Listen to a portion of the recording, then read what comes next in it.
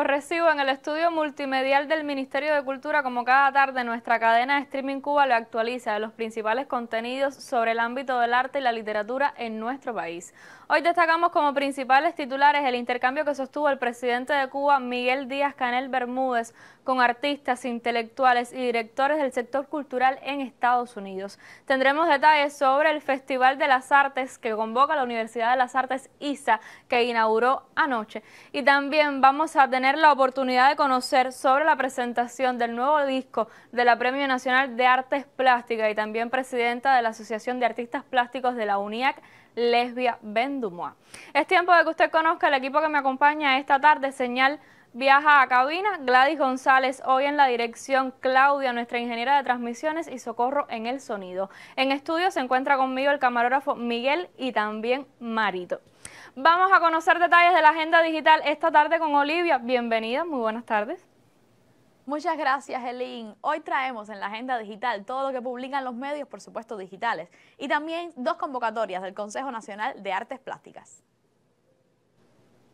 Muchísimas gracias, Olivia. También está listo en nuestro set de entrevista la anfitriona Patricia Ramírez. Bienvenida, buenas tardes. Pues sí, y hoy en la entrevista del día estaremos hablando sobre la apertura, la gala inicial del Festival de las Artes. Pues sí, el Festival de las Artes que comenzó anoche. Así que para más detalle manténgase hasta el final.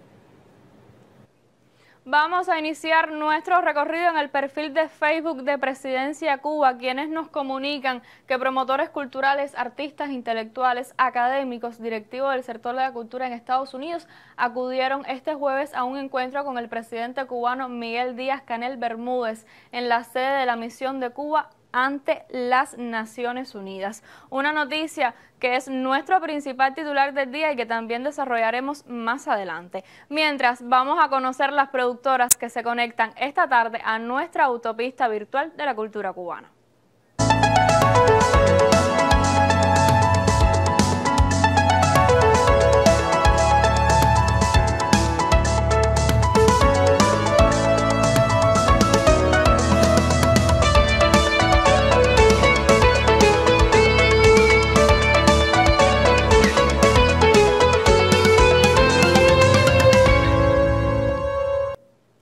Bienvenida y el saludo para mi colega Aliena Armas Enríquez desde Jagua TV, La Perla del Sur.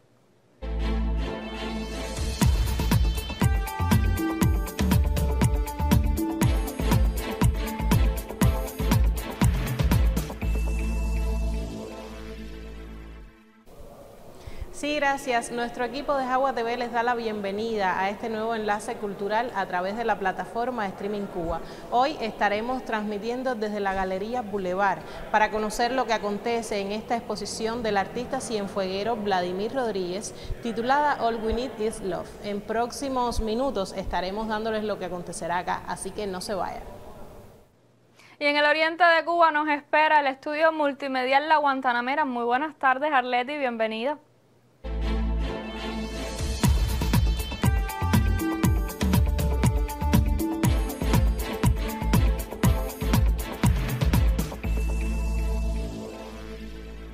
Saludo desde la tierra del Guaso. El equipo del estudio multimedial La Guantanamera llega hasta la sede de la compañía Danza Fragmentada en víspera de la celebración por su 30 aniversario, institución que recibe la visita del coreógrafo español John Midolo. En breve estaremos comentando los detalles de dicha colaboración. Y se suma a nuestra cadena de streaming Cuba, la autopista virtual de la cultura cubana, los colegas de la corresponsalía de Villa Clara en Remedios. Adelante, muy buenas tardes, qué placer recibirlos.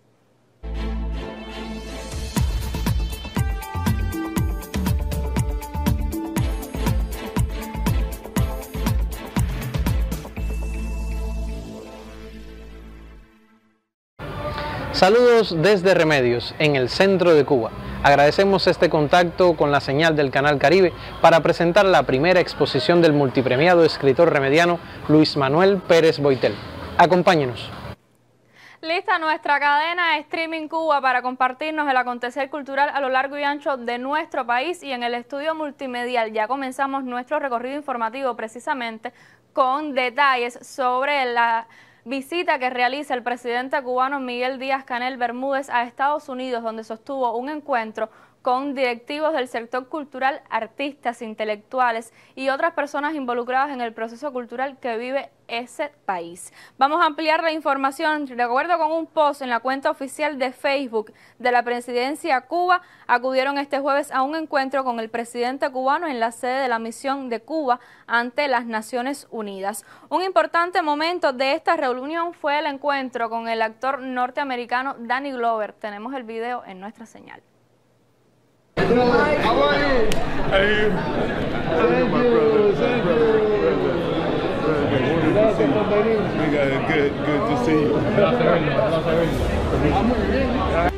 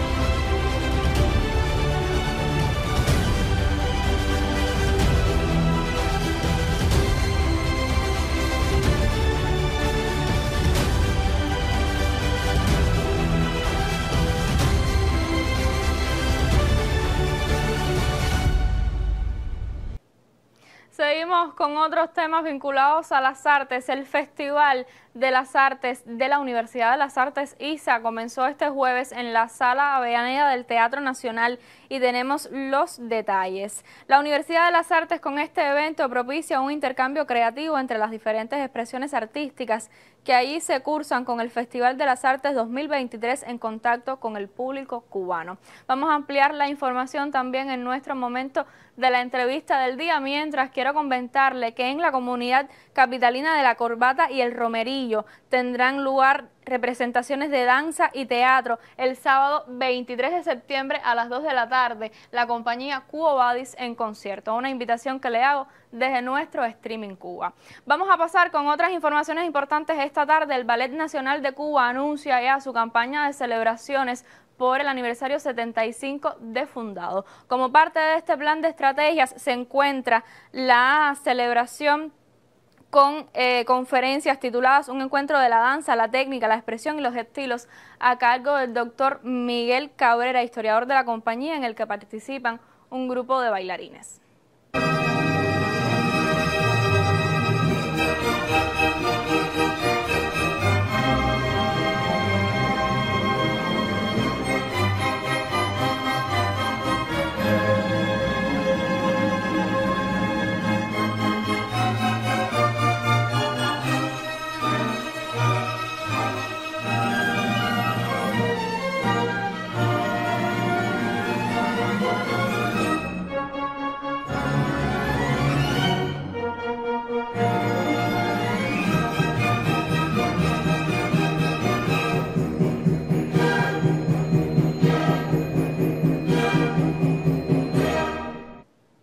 Destacamos hoy como uno de nuestros principales titulares el libro presentado por la Premio Nacional de Artes Plásticas Lesbia Bendumois esta mañana en el Pabellón Cuba. Mi colega Melissa Maui de Bardet tiene los detalles. Pues sí, recibo la señal. Y esta mañana en el Salón de Mayo del Pabellón Cuba fue presentado el libro de Lesbia Bendumois, pintora, grabadora cubana y Premio Nacional de Artes Plásticas en el 2019. Podría decirse que el libro de Lesbia Bendumois es una suerte de espejo, un reflejo de ella misma, de su amplia trayectoria profesional.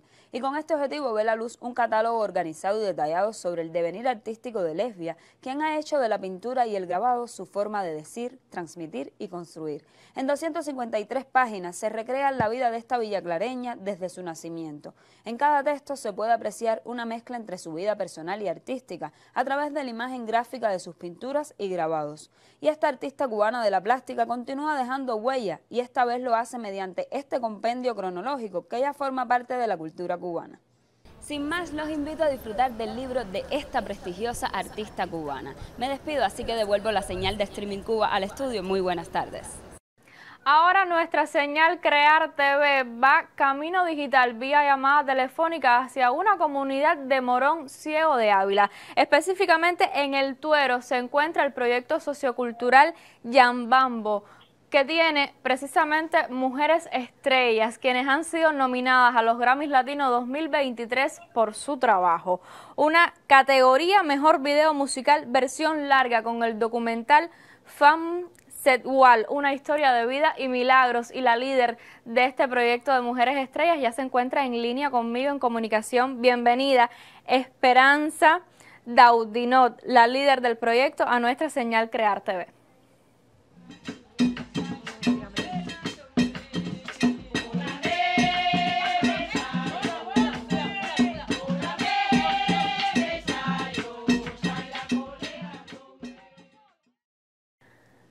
Bienvenida a nuestra señal, la líder del proyecto Esperanza Daudinot. Un placer tenerla con nosotros, maestra.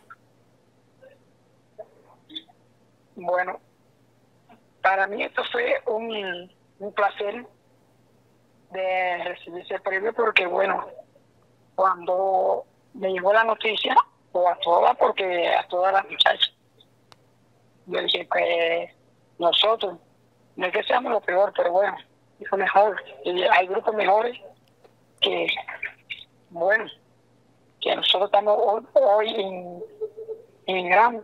Y entonces yo digo, bueno, eso es el trabajo maravilloso también que, porque no, no, que aportar también a hacer y el esfuerzo también que nosotros hemos hecho. La siento emocionada, maestra. Hay mucha emoción en su voz debe haber mucha emoción también en estas 16 mujeres descendientes de haitianos que bailan y cantan sus instrumentos típicos allá en la comunidad nominadas a los Grammys Latinos. Sí, mi vida. Las muchachas cuando, las muchachas cuando se enteraron de ese premio, las muchachas fueron, vaya, bueno, para, para ellos fue increíble porque muchas se acercaron a mí y me dijeron, no, no es posible no es posible, se quedaron sin palabras. Yo dije, no, no es posible.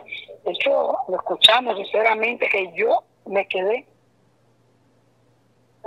Yo no, tenía palabras para contestar a la muchacha. Y le dije, aquí lo que hay es eh, seguir luchando, seguir proyectando, defender la cultura haitiana, ya que somos mujeres empoderadas, y, y llegar sinceramente y seguir para poder enseñar a las nuevas generaciones, a las nuevas generaciones que viene también el mensaje. Sin duda las nuevas generaciones lo van a recibir, maestra, con el mismo cariño y la misma emoción que siento en su voz ahora mismo por llamada telefónica. Muchísimas felicidades por esta nominación al grupo Fancetual, Mujeres Estrellas en Español, que defienden la raíz haitiana en la cultura cubana, esta nominación a los Grammys Latinos 2023. Muchísimas gracias por acompañarnos esta tarde, maestra.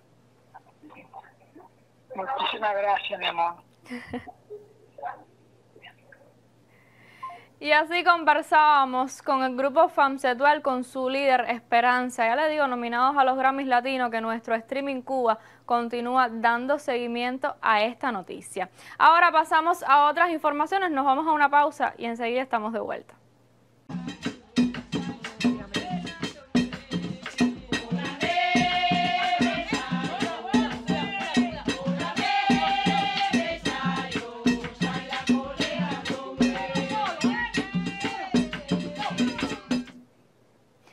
Tiempo para ofrecer más detalles sobre el Festival de las Artes en nuestro momento de entrevista del día.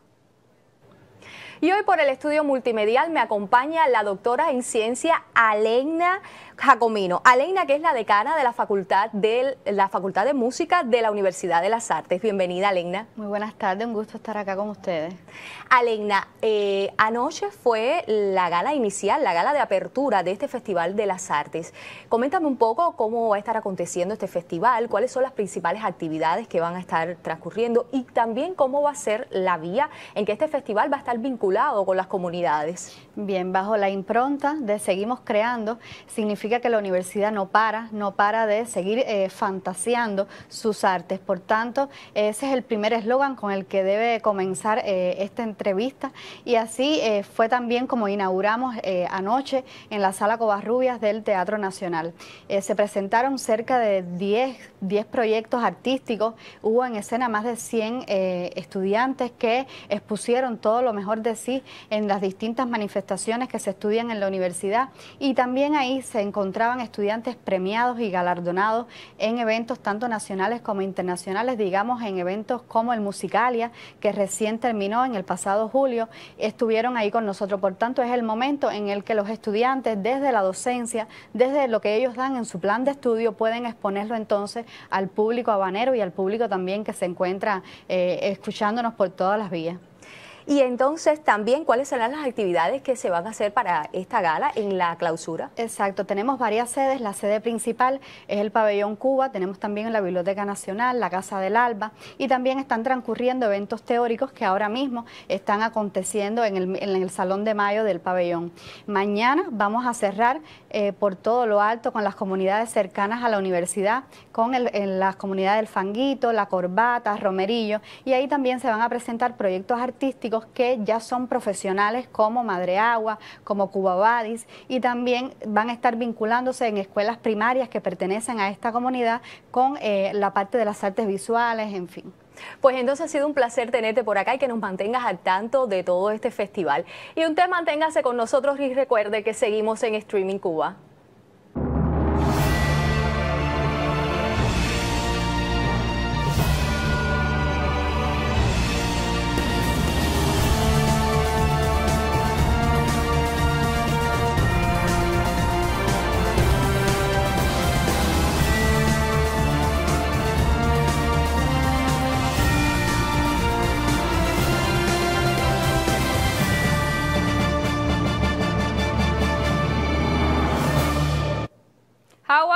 Su periodista Aliena Armas ya están listos para conectar nuevamente su señal digital a nuestra cadena de streaming Cuba y ofrecernos detalles del acontecer cultural de Cienfuegos.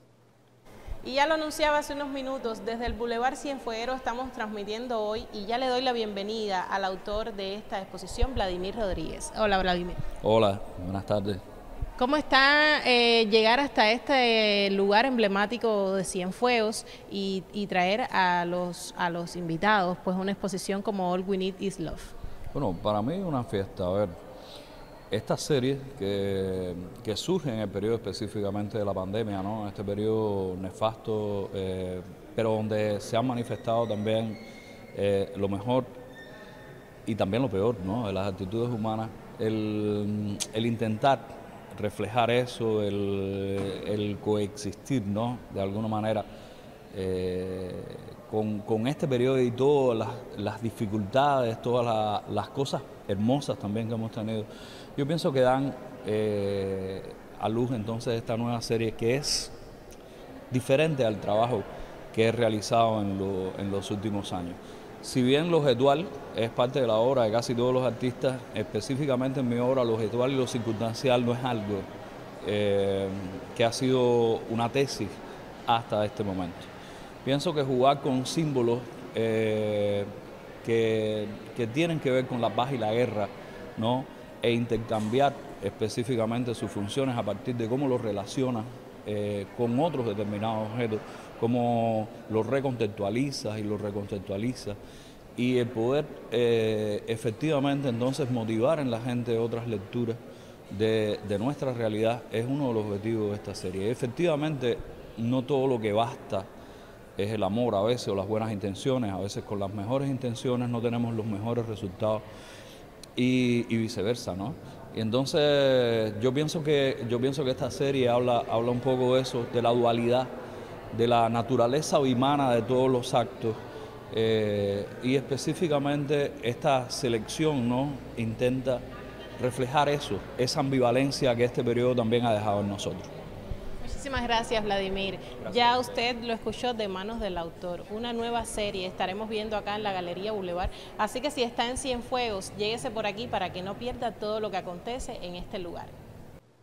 Creados desde varias partes del mundo, llegan hasta Guantánamo para crear toda una celebración en torno a los 30 años de fundada la agrupación Danza Fragmentada del Territorio. Esta es la propuesta de la productora El Estudio Multimedial La Guantanamera. Y reiteramos el saludo desde la sede de la compañía Danza Fragmentada. Me acompaña el coreógrafo español y director, además de la compañía Dance Project Internacional, John Midolo. Bienvenido. Hola, es un placer, bienvenido, buenas tardes a todos. Es un gusto tenerlo acá con nosotros. Coméntenos sobre las motivaciones que tiene para estar acá en esta tierra del Guaso y el proceso coreográfico que hemos visto que se está montando, se está gestando.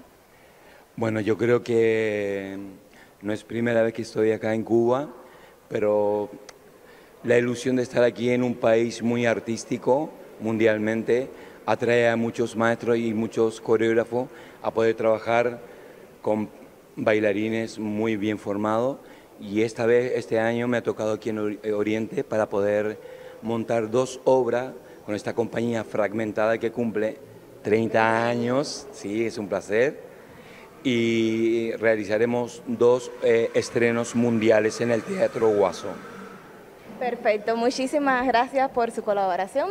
Hemos visto acá el proceso en vivo de lo que se está gestando en vísperas del 30 aniversario de la compañía Danza Fragmentada. Y esto es todo, nosotros nos despedimos, agradecemos el enlace y nos vemos en un próximo encuentro.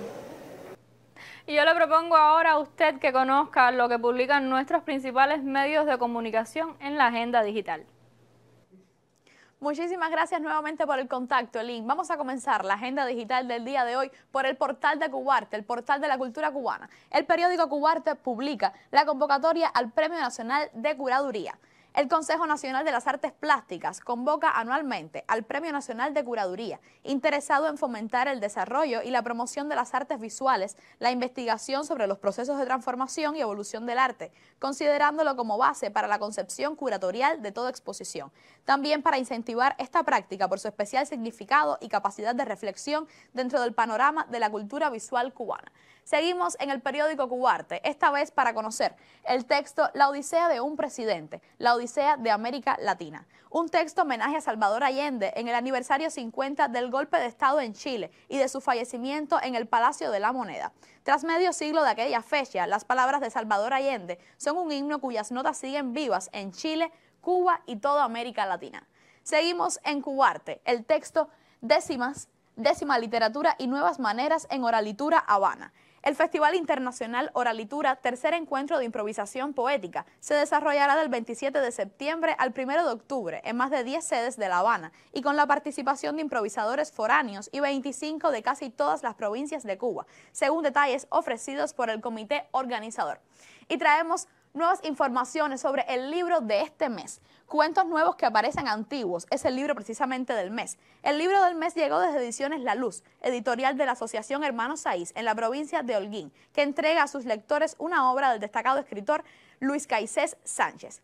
Y cerramos la agenda del día de hoy con la convocatoria del Consejo Nacional de, las Artes Plásticas, que nos llega desde el portal de la Jiribilla. Convocan al Premio Nacional de Crítica de Arte Gui Pérez Cisneros. El Consejo Nacional de las Artes Plásticas convoca a todos los críticos, especialistas, docentes e investigadores cubanos residentes en el país a participar en este certamen que se realiza anualmente para incentivar la investigación y el ejercicio de la crítica dentro de las artes visuales cubanas y de esta forma reconocer los trabajos más destacados de este campo. Esto es todo lo que trae la agenda digital en el día de hoy. La próxima semana volvemos con más.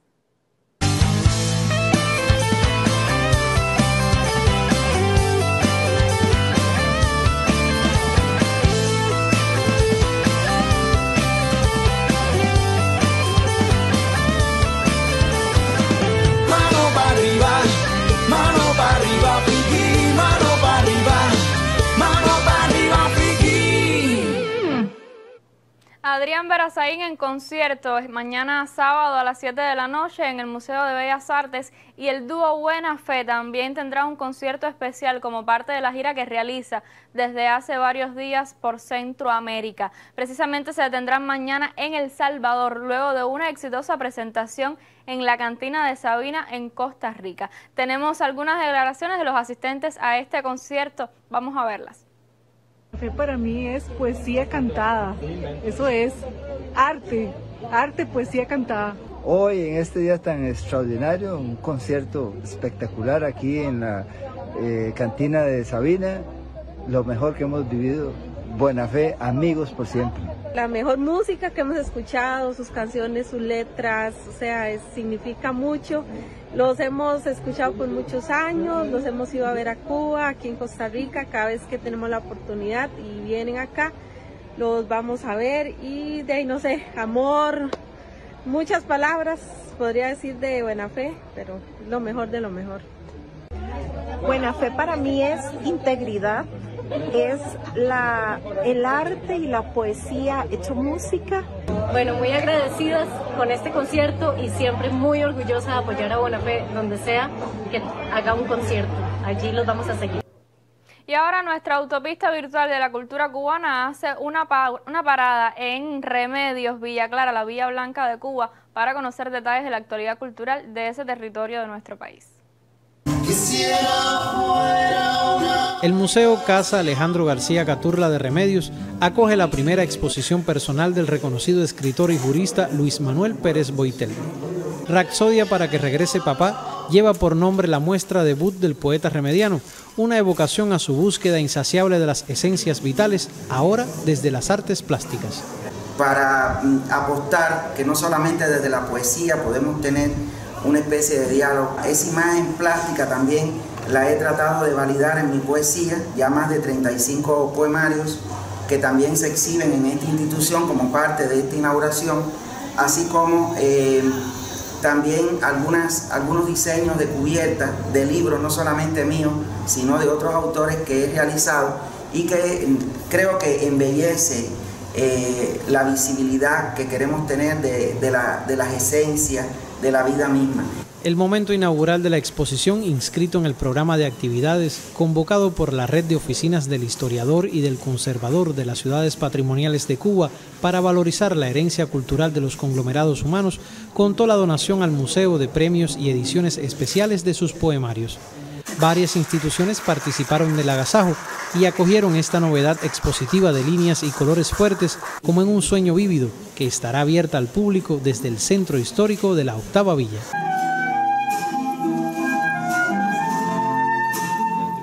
Para Crear TV, Roberto del Portal y Fausto Yacer.